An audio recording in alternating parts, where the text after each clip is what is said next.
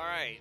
Um, so, over the next hour or a little less, we are going to, like Matthew Cobb, talk about something that, you know, people talk about when they're at university at 2 in the morning um, after smoking a lot of weed and maybe other stuff. Um, but instead of talking about aliens, we're going to talk about the self this sense of a self that we have that I think has two strands. The first is that we are this unified thing that's distinct from the rest of the world, distinct from other people, distinct from the physical world, um, and with memories that's continuous that are that that so all of our memories make us continuous over time. So like the same me that I didn't that pulled down my bathing suit in front of my whole fourth grade class for some reason uh, is is the me right now, and so that's one part of it, and then the other part of it is this uh, this sense that we're this little person behind our eyelids, behind our ears, this thing that's looking out into the world, having experiences, and it's happening to us. We're, we're, this is what philosophers, but apparently not neuroscientists, philosophers call the homunculus, like this little thing inside that's running the show, making decisions, and all the experiences that we have, all the perceptions that we have, it's happening to me. That's this sense of an I. And both of those things, but especially the second of those things, have come under attack from both philosophy and psychology.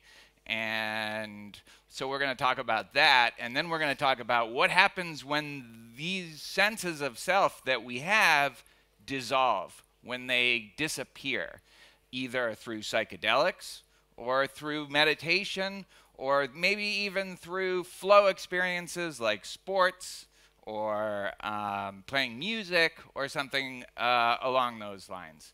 So I'm going to start with the philosopher because nobody ever starts with philosophers. Yeah. Nobody gives a shit about philosophers. I, I think he made a joke in Bulgarian about philosophy, but I don't even know what that was. So I'll have to find that out later. So I'm going to start with the philosopher. Josh, what is the philosophical conception of the self? Right.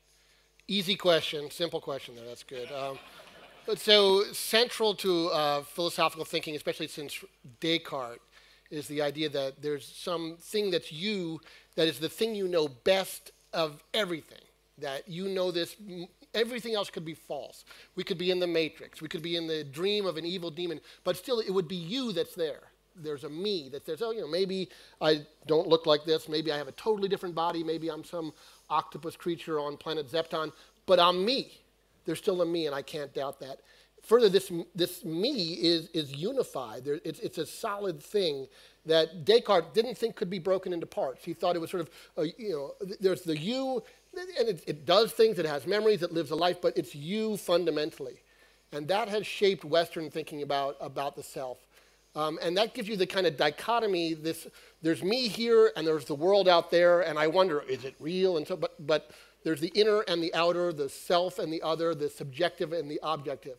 And the subjective has seemed to be the more solid. Um, that's the question that's coming up here today. The thing that you cannot doubt. That's right. The one thing you cannot doubt is right. that I'm me. I'm me. Because somebody has to be doing the doubting if right. you're if you're doubting. That's right. That's right. Um, now there have been from philosophers early on also did wonder about this. So famously, the philosopher David Hume, uh, Scottish philosopher David Hume, um, wondered whether there was, this thing made any sense at all. And he thought, well, when I try to find myself, and I'm, it's like trying to look at the back of your head, and it's not there. And so for him, you sort of had to see it to know it. And he never saw his, him, himself. And so he thought, look, all there is really is just I'm having experiences. I'm looking over here, I'm looking over there, but I never see me. And so he doubted that there was such a thing, but he was seen as a crazy Scottish skeptic. Um, and so the, the, solid view in philosophy for is that there is this thing, the self. Um, now, there's also this sort of the thing you talk about, the ordinary, everyday feeling we have of being I'm Josh. I'm still Josh. This, you know, maybe I didn't pull down my pants in fourth grade or whatever you did, but I've done some weird things, and that was me, yeah. and I'm here now. And, and, so there's this thing that continues over time. Um, we like to use big words like diachronically, you know. So there's this long-term self that's me, and then right now there's the feeling, oh yeah, I'm here. And both of those things are things I think were, are, are coming under pressure partly from neuroscience, um, that we don't find that in us, in our brain when we look. Um, also, even in you know, regular life, you can have experience where it breaks down, um, or it disappears, or it fades. And especially if you enjoy or experiment with various kinds of interesting substances um, uh, of psychedelic nature, uh, you can have experience where the self really dissolves. Um, but this is actually a, a, new way to do something that's very old, this sort of mystical experience of, of becoming one with everything or recognizing that really you are part of everything in some deep sense. And this idea of this dichotomy maybe was a mistake or, or an illusion. Um, right. And so those are interesting questions that we can try to get at with this science stuff. All right. So I think that's enough philosophy for now. what, what, maybe a little too much. What, um, what is the from the neuroscience or just scientific uh, perspective? What how does science view the self? Well, um, my mic on by the way. Everyone hear me okay? Yep. Uh, well, neuroscientists obviously are going to break this down into some very dry, annoying, not sexy uh, kind of definition of the self, which is, as neuroscientists, we're going to take a reductionist approach. We're going to look at what circuits are active when somebody is thinking about themselves, for example. What is it how, how is it that this extremely complicated system that we have, our brains, how is that being synthesized together in such a way that we can have this sort of stable sense of who we are? And one of the most important aspects of this is really just us being in our physical bodies. I mean, we can all recognize at this point we are all in our bodies, we can feel our bodies, we can smell our bodies, hopefully not too much, um, but that it's, there is so much information being processed by your brain at this very instant about where your body is in space. One of our most distinctive senses, which isn't talked about very much, is called proprioception, which is your brain being able to detect, to detect where your body is in space. Because your being able to move would be irrelevant if you didn't know where you were starting from. So a massive amount of information is coming into your brain about that. There's also obviously information about kind of awarenesses to what our breathing patterns are like, what the kind of quality of our thought is at the moment, what emotions we're feeling, and all these things tend to have kind of a correlation with one another. You know, oftentimes you'll see, I don't know, some guy trips over something and his head smacks onto the ground, and you hear a predictable sound as his head hits the ground.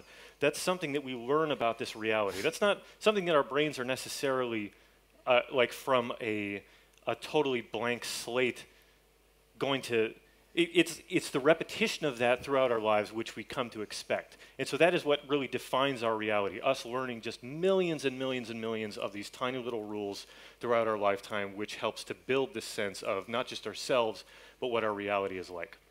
Presumably, so, just to clarify, presumably there are some animals who have a sense of themselves in space, who can will do predictable things when they fall, who um, who have all the things that you're talking about, but don't feel from the inside that same thing that it seems like we feel like this sense of a unified self, the sense of a little person running the show inside of us.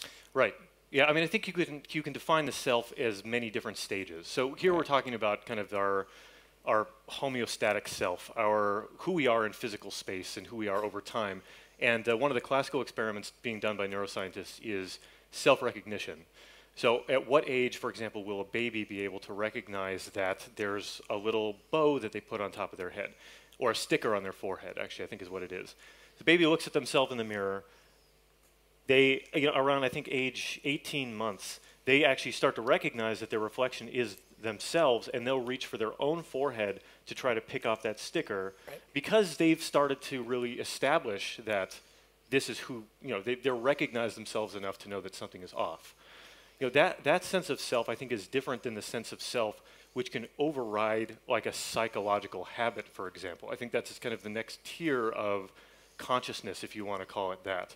You know, that we are uh, you know, if you talk, if you think about this term in terms of evolution, you know, we have a reptile brain. We're seeking sex. We're seeking food. We're breathing. We're shitting. You know, these are like our basic sort of Reptilian fun. yeah, exactly. And then slowly, slowly, slowly, what separates us from just complete chaos is our frontal cortex, which is what is kind of keeping all this in check. It's where we plan. It's where we are kind of creating our uh, our.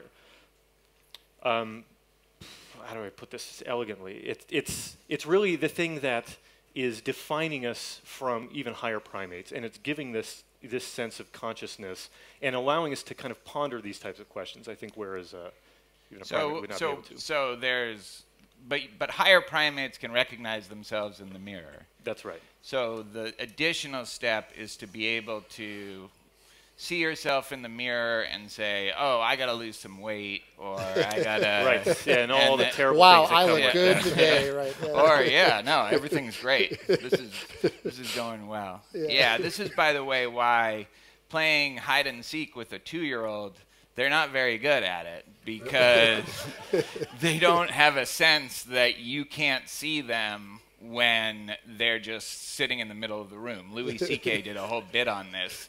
Uh, and then once they get to a certain point where they say, where they recognize that, oh yeah, they need to not see me for me to stay hidden, then they can play uh, without you pretending that you're not watching, sitting them when they're in the middle of the room like this. Yeah, yeah. So somehow, somehow, in, in our development and also in evolution, this additional layer of self-awareness comes into being. And when we've got that, we can do all kinds of wonderful things. We can reflect like Descartes. We can look in the mirror and check out our look.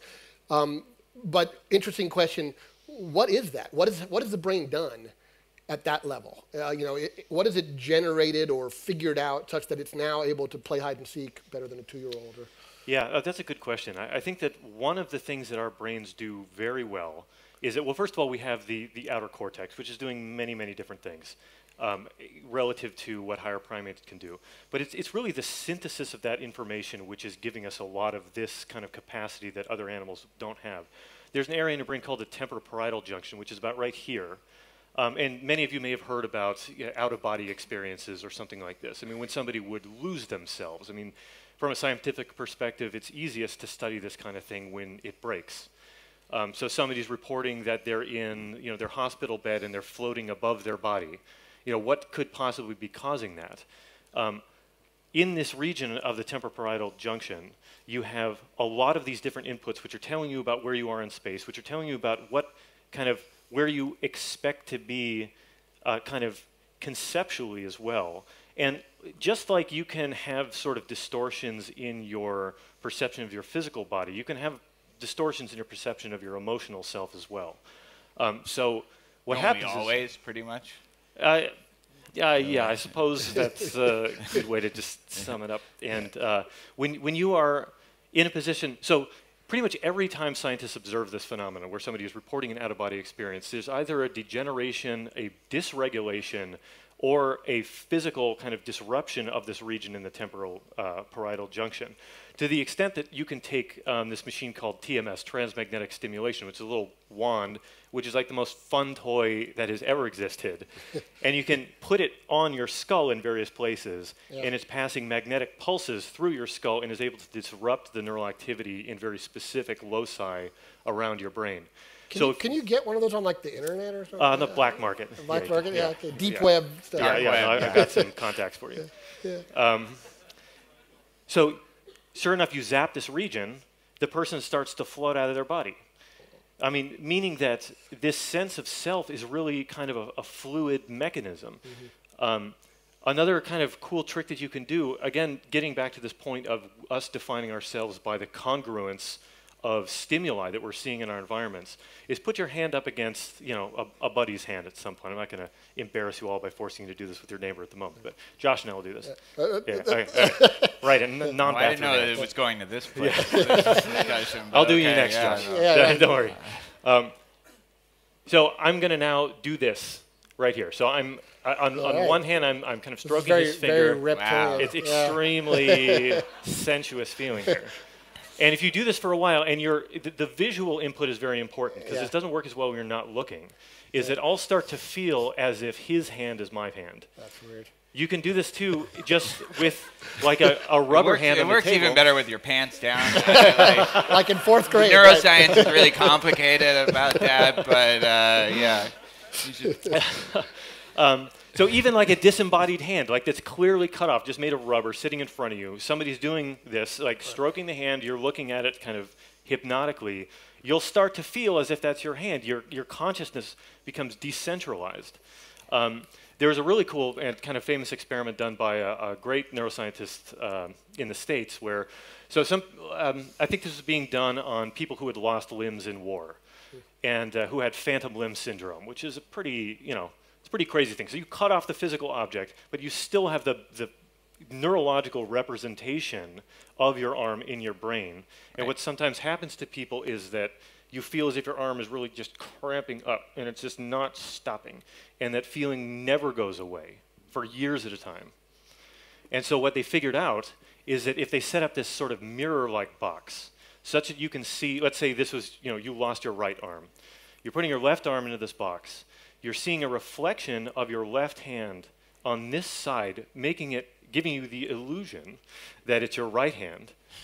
And then you're just doing this. You're ah, relaxing your left hand, you know, doing this sort of thing. And your brain, your stupid brain, is tricked into thinking that it's releasing its right hand because all that neural architecture is still there. It's just you have no way to access it unless you're kind of hacking it in a way. Um, so in these types of ways, the, the sense of self is uh, kind of manipulable, and I think maybe that will. Yeah, so, so okay, yeah. Since you've brought up illusion, and we met yesterday over beers, just not in front of 800 people, and um, we were trying to pin down this question because there is a sense that the philosophical conception of self that we have, in particular, that conception that we are this thing behind our eyelids, in our brain, behind our ears, a subject that experiences happen to. There is a sense, as I understand it, both from a scientific perspective, but then also from certain religious traditions like Buddhism and Hinduism, that that self is an illusion or a, not an accurate reflection of what's going on. From the neuroscience perspective, there's nothing in your brain that could be that. That that it feels like from the inside, that little guy or or woman or whatever. um, and yeah, I don't want to get in trouble. Uh, but uh, but th- there's no, there's no there's no possible way that the, the brain's not doesn't work that way. And then from the Buddhist or um, from the Hindu, uh, I, I know a little bit more about the Buddhist perspective. They also believe that that is an illusion, and they take steps to try to dispel the illusion. And now, and this is a fairly recent phenomenon, in science, uh, people are giving people psychedelics, mushrooms, um, acid. Uh, the what's the Peruvian one? Ayahuasca? Dimethyltryptamine. Yeah. yeah, DMT. Yeah, DMT, DMT, that breaks down the that illusion of self. And I, I want to talk about two things. The first is the morality of that or the benefits of that. People report um, less people. They use it on people with depression. They use it on people um, who have post-traumatic stress disorder. They they and then from the Buddhist perspective, the whole idea of trying to break this down was to eliminate all suffering. And so so but setting that aside, what does it even mean for the illusion of self to break down? If I could report that I no longer have this illusion, then who's doing the reporting? What does that mean? What who is that happening to if I no longer uh, have if I'm no longer victim to that illusion? You're looking at me? I don't know. you're up, Josh. Um, Yeah. I think that's that's the interesting paradoxical question because we Yeah. At least, you know, one of the things about us is we're deeply social animals.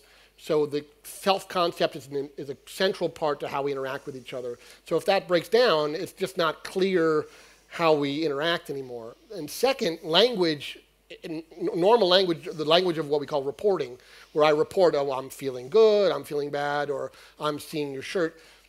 It uses the, the you know, the, the I, the, the, uh, the I uh, representation. If that, the thing that that's picking out, we take it to be the self.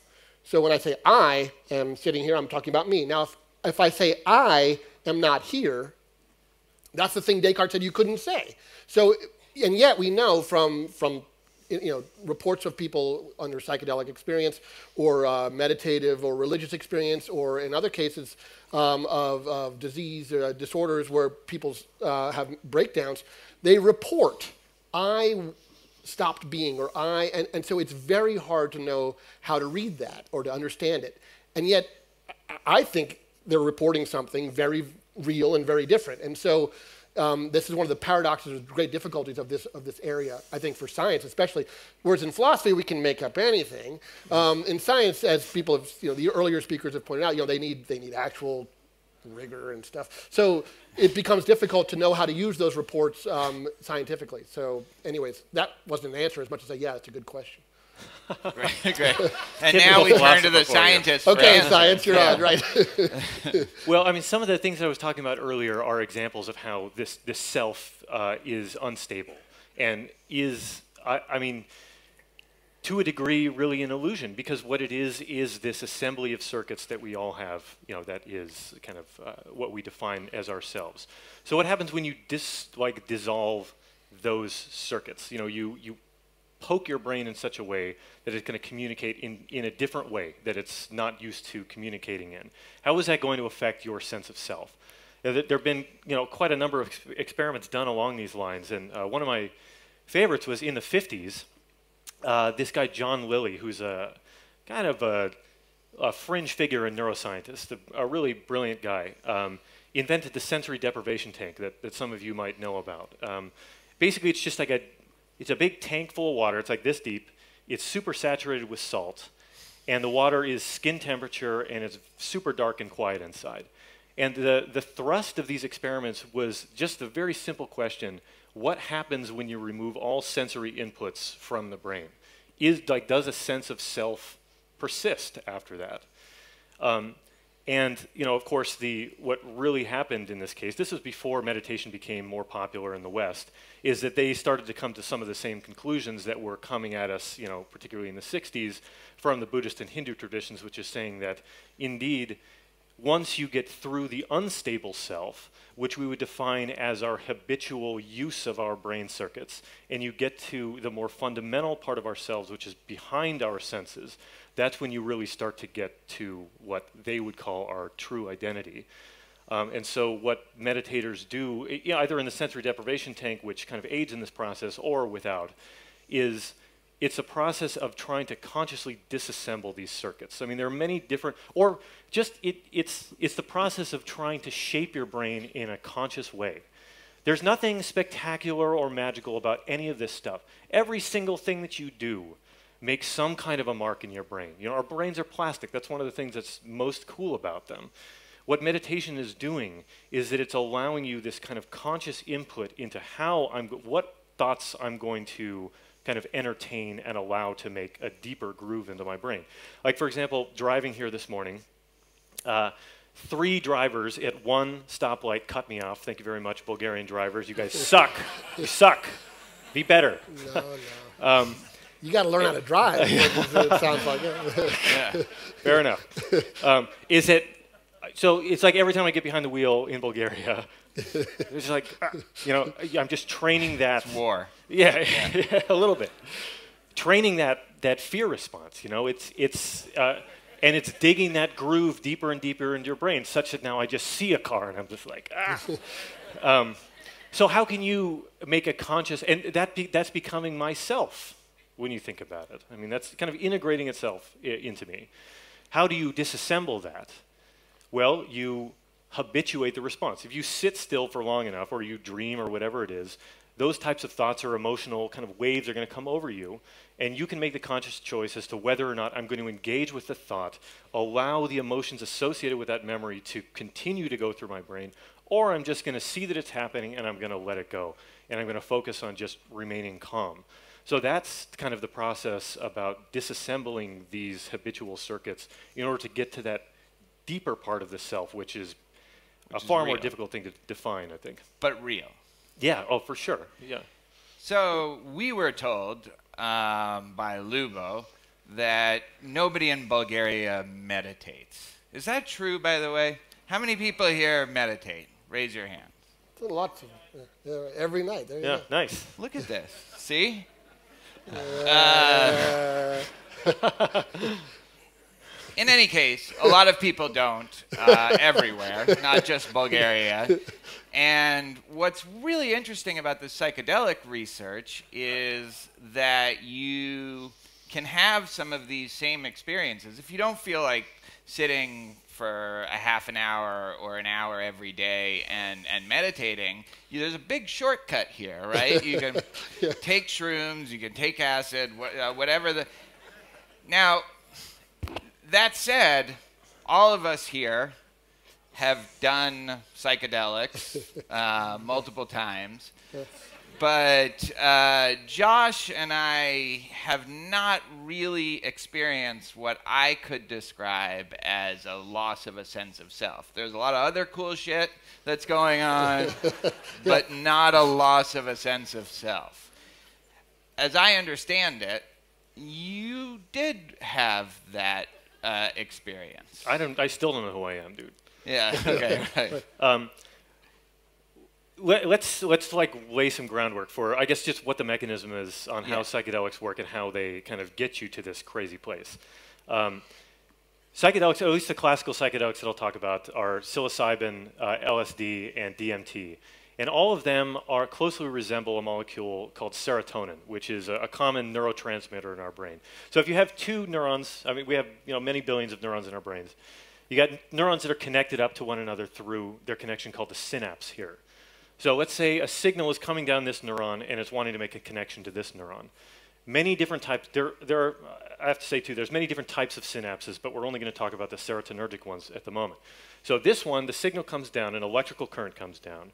It causes little packets of this molecule, serotonin, to be released into the space between these two cells. They diffuse across that space, and then they bind to these serotonin receptors, of which there are probably 10 different types on what's called the postsynaptic cell. That receptor then changes its conformation. It opens up a channel in the membrane and allows ions to come into the cell and to change the electrical potential of the receiving cell, which then causes it to fire its own action potential. And this is how kind of the chains of electrical activity are happening in our brain. So really everything that we're doing, and, and, serotonin, I should say, is particularly involved in mood and emotional and, and movement regulation. Um, so this is happening many, many billions of times in our brains, kind of at all, at all times. So what happens then if you're going to take a molecule like psilocybin or DMT or LSD, which looks like serotonin, it has molecular features like serotonin, and it binds to some of these receptors even more strongly sometimes than serotonin itself. But you're taking this systemically, like you're, you're putting it into your stomach, and then it's just diffusing wherever it's going to go. It's not like it's being actively transported to the right place to give you a specific thing.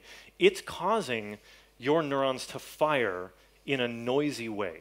Mm-hmm. It's diffusing into all of these synapses, and based upon the, the kind of kinetics of how this is happening, it causes activation of these, these cells in, in, a, in a specific way. So um, there's a paper that came out a while ago which I think defined this spectrum of consciousness in a really elegant way, which is a more open type of consciousness, like you might expect in, in somebody with a psychotic disorder like schizophrenia, or in a child who does not have a very defined sense of self. You know, there's the, the, the brain is wide open to possibilities. There's not a lot of kind of habitual uh, circuits that have been programmed into it yet. Whereas on the other side of the spectrum, you have things like obsessive compulsive disorder or depression or anxiety are these thoughts that you're just constantly ruminating on that dig these really deep grooves into your brain that your consciousness tends to kind of dip into. What these psychedelic drugs are doing is that they're shifting your brain more towards that open state. They're adding noise into the system such that when you're taking a low dose of a psychedelic, everything looks pretty much the same except your eye is like dripping off of your face a little bit. Right. You know, it's like there's like these slight distortions that start to happen. I'd call that more than slight. Yeah, that's yeah. maybe I've gone a little too far. There. Yeah, okay. um, when you take higher and higher doses, your kind of your brain starts to fall apart in a sense. Your sense of reality starts to fall apart because your normal way of synthesizing the world gets infused with so much noise that you're unable to maintain this sense of reality. And it's activating all of these types of circuits that otherwise would not be activated. Um, I should say that this research is in its infancy. At least the, the formal neuroscientific research has, is in its infancy. These substances have been used in many cultures for thousands of years. I mean, the, the cultural approach to this is very, very well established. Um, but only two years ago, they did just a basic experiment of giving somebody acid and putting them in the scanner and seeing what's happening just all over their brain. And the results of that experiment was that there's just more brain activity all over the place that's kind of indiscriminate almost. Um, so holy shit, I'm taking acid in an fMRI machine. Yeah, right. That's the signal of what that is. yeah, your mind is like yeah, blowing out. Doesn't sound like the best place, but you know.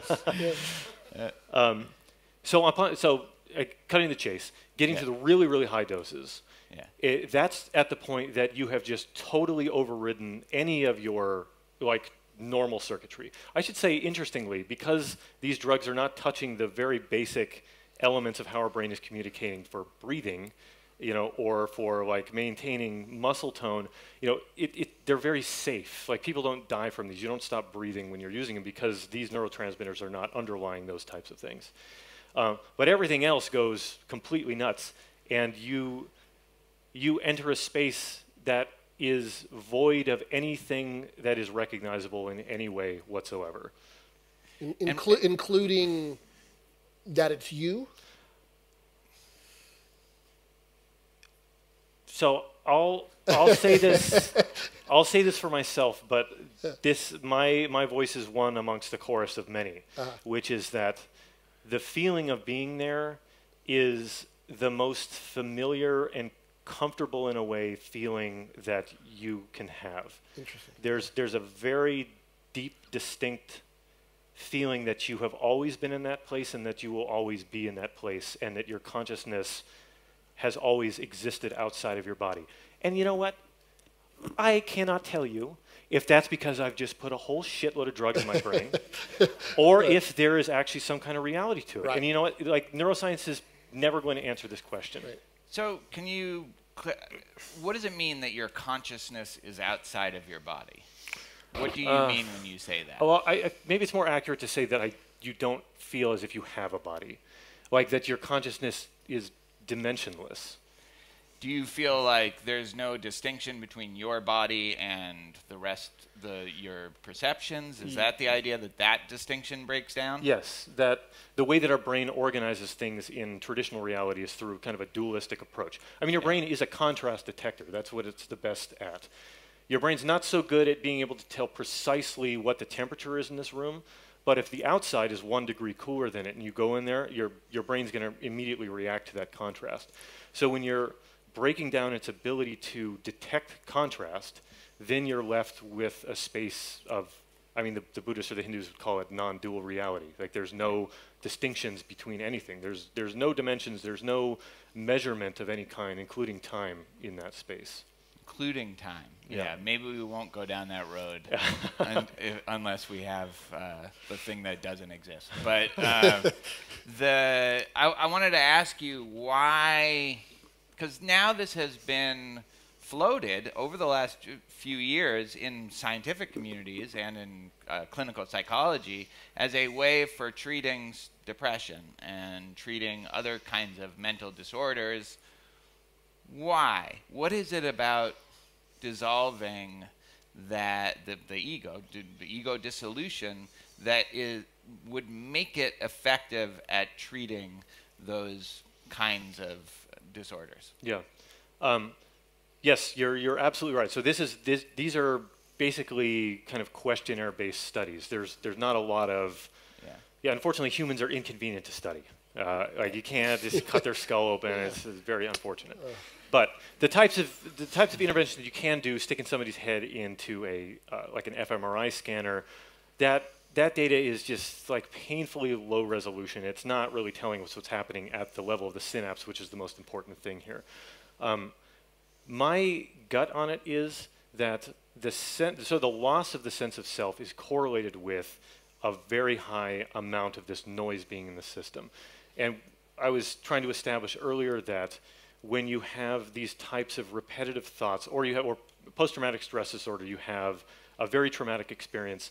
Oftentimes, when you have a very emotional experience, that memory gets encoded very, very strongly, like very deeply and fundamentally into your brain.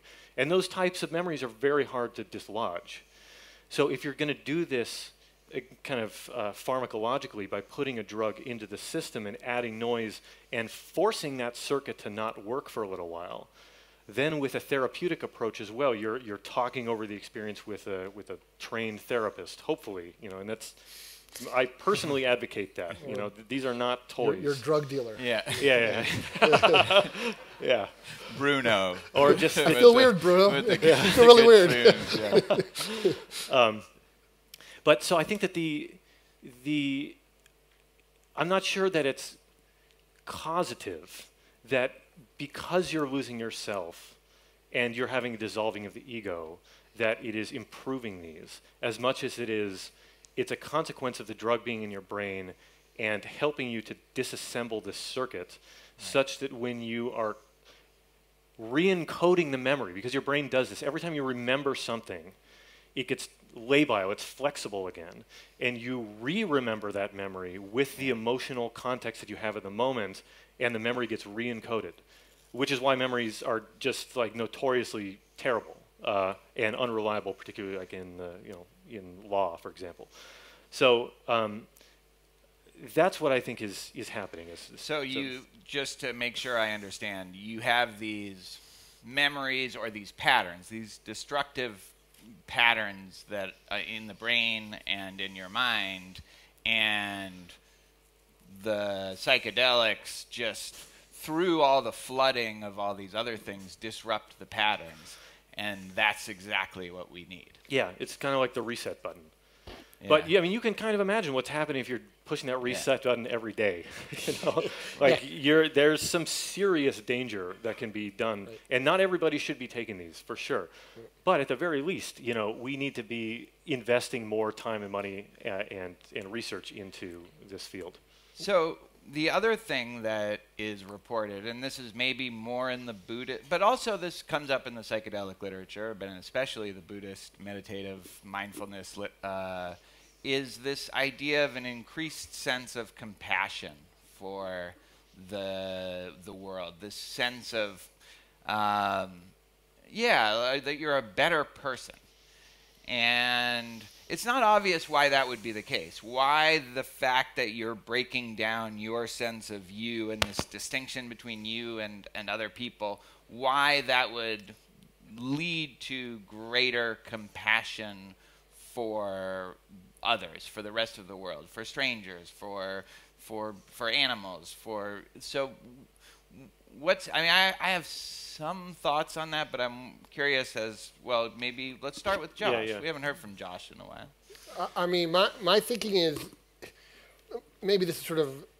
sort of I don't know I would say individualistic Western kind of concept of self. I wonder about I was going to say I wonder about societal uh, cultural differences in these things. Like so, how different is uh, the self concept across cultures? Um, but um, just from my perspective.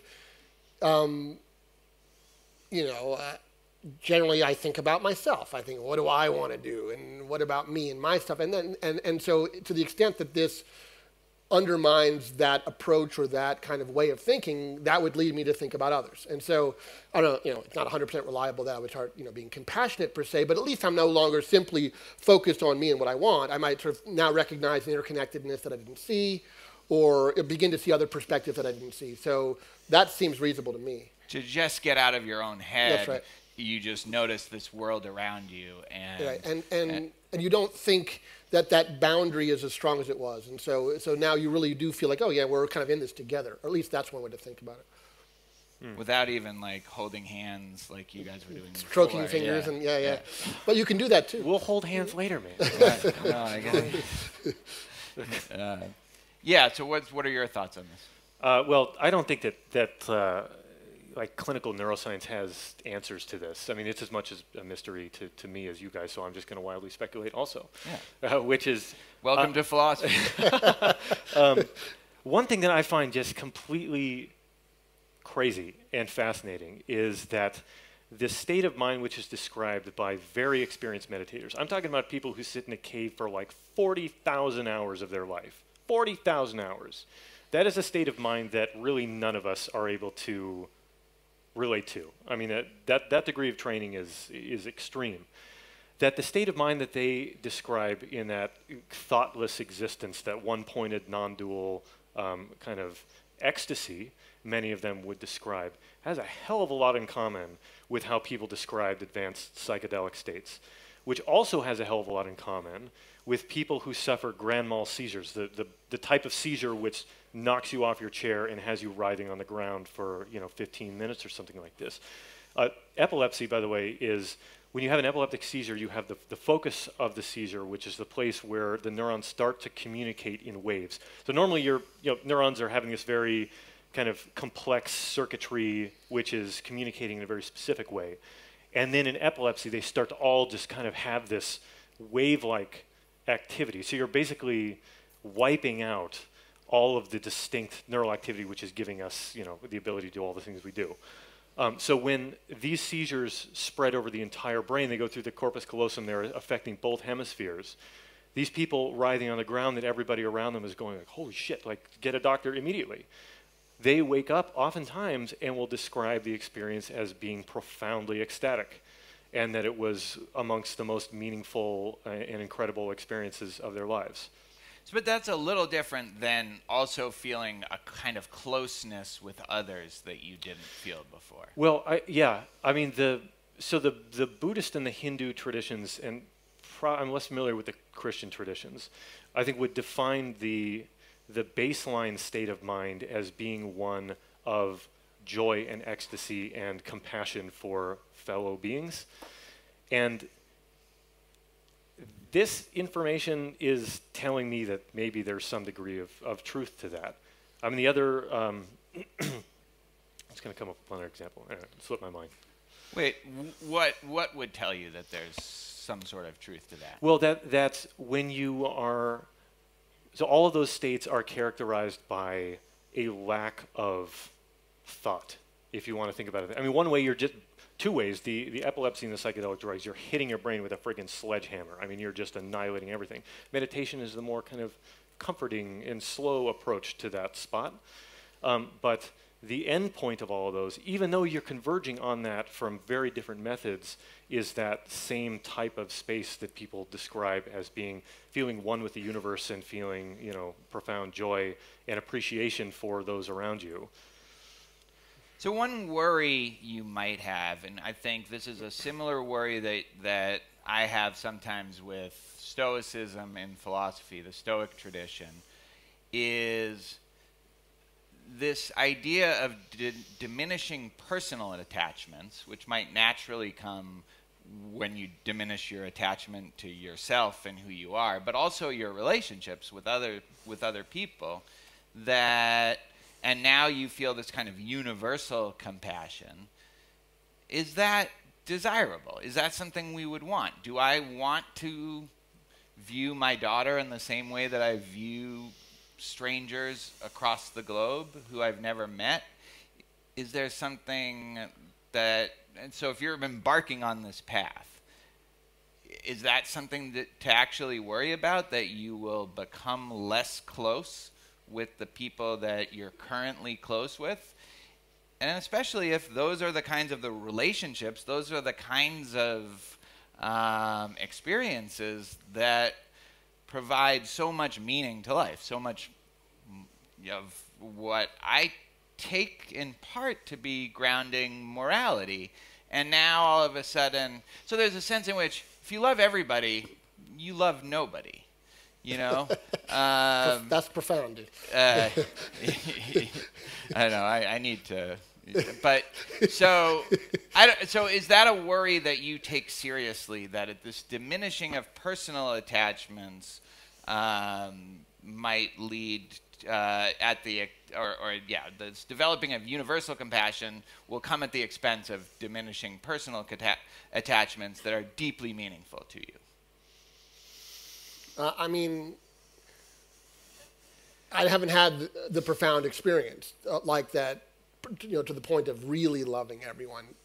But my, my, you know, I hate a lot of you guys. But, but, but I mean, my, my guess yeah. is from, from what I. You don't love like hardly anybody. That's right. yeah. but, but, but my guess is it doesn't. I mean, I don't know. Maybe this is just you know the pop Buddhism that I know about. In the it doesn't have that effect. It's, it's not like you, you, you love your daughter less. You just love everyone else more. I, I mean, so it, I don't see why it needs to be a zero. It's not a zero sum game. It's you know, can't you just increase your love and love more than just the couple of people you, you know? And so, and also maybe you begin to love your daughter in a different way. You you know, it, as being part of this. Sorry, that's getting weird. Uh, uh, maybe you love those, those meaningful connections you have become equally important in some way. You're the guy who took off your pants in fourth grade. It's not me. Um, That's a memory I'm trying to. Uh, hey, these these are the pathways you've laid down. Yeah. So, so, I don't know. I mean, you know, I, I, get I get the worry that, that somehow this universalism will, will diminish the local connections that you have. But, you know, I don't know. I, I, I haven't. I'm not a forty thousand hour Buddhist monk in a cave. But you have a lot of experience with this. Is that something that I mean? You have a lot of experience with the meditative and tradition. Is that something that you see in the people that you've been in contact with? Less personal, meaningful personal relationships? I don't think so. I think there are some people who put on that air because they're like trying to show everybody how advanced they are. Yeah. But I think that the what what really happens is you just become more comfortable in your own skin, like that your your own innate personality traits become kind of honed and refined and, and balanced more towards the positive. I mean, that, that's what I've seen, I guess. I agree with Josh, too, that I don't think that the end state here is that you are this, uh, you become a computer, basically, which is, I mean, yesterday we were talking about what, I mean, what are the ethics of if your ethical approach to the world is one of utilitarianism, which is in optimizing the way that your morality works such that you try to bring about the most good for the most amount of people, in which position I think you, you pose the, the potential am I going to withhold treatment from my daughter for some reason because it would benefit a thousand other people in, in another way? I, I, just have I have no idea, you know, how that equation would kind of play out for somebody who's that far along. Yeah. I yeah, I I I, I wonder about this, especially at, at the very least, it does seem like the ethical ideal. It is for Stoicism. It does seem like it is for Buddhism. It does also kind of um, fit with the metaphysics of it. Why should you have a personal attachment? When you're not even a you and they're not even a them, uh, and there's really just one thing. Yeah, right. What it doesn't even make sense to have a personal attachment, or does it? is that oversimplifying or caricaturing? Well, um, again, like I, I, get all I can speak from is just how they would describe the state of mind, and from what I've read from from yeah. very advanced meditators, which is that they just simply recognize that our consciousness is part of a shared consciousness, and that being compassionate and loving to anybody benefits you and makes your own life enriched as well. Do you love your kids? No. hey. no, that, that's. But I am just trying to show how advanced I am. Yeah. That's right. That's right. There's, uh, a, there's, a, wait, there's a country music song yeah. that says, "I love everybody, especially you." That's kind of that's what, yeah. I mean, there's also this other element where you can focus more on other people when you're not focused on yourself when you're yeah. not self-obsessed. Right. Yeah. And well, yeah. Mm-hmm. and that would be a big positive, actually. And Yes. Uh, well, one thing I will say actually about after having kids, you know, having a five and a two year old, that so much of your love and attention is focused on them that I, c- I really sort of feel like I have less of that to go around in a way, you Yeah. know? Yeah, the, the monsters are sucking you dry. Yeah, I have kids it's- too. yeah. I know how it I mean, it's like kind of the reality of the situation. So if there's a way to kind of fill the vessel more full so that there's more of it to go around, that, that Yeah. seems to me to be, I mean, only a good thing. put them in a car, take the emergency brake off. You know, they go into the lake. yeah, that's Then kind of there's what, that's more what we're love saying. to go That's- around. That's right. Yeah, Yep. Um, Can I say that- I mean, one yeah. interesting thing that's coming out of this for me, of back to some of the issues about synapses and cell, is, is the, what we are, are are these series of patterns that are laid down in the brain, uh, and that's kind of like, like some of those are sort of what we are, and that's what neuroscience at least suggests, maybe in one way, that you are this sum of these synaptic patterns. But we can, with these methods, um, alter those patterns. Um, and to me, that's enlightening. Like so, so the, the science can show you, um, you know, under the right conditions, ways to to alter yourself. Now, what the goal state should be, that's a philosophical question. That's a tough, you know, it's a difficult question. But but there is there's this interesting ways to get in there and mess with the self and maybe alter it for the better and hopefully not for the worse, um, because we kind of have some understanding that look somewhere in those patterns of connections at the cellular level, that's you. You know, now, you know, that to me is a, a neat thing to learn from uh, from the neuroscience stuff. Yeah, yeah.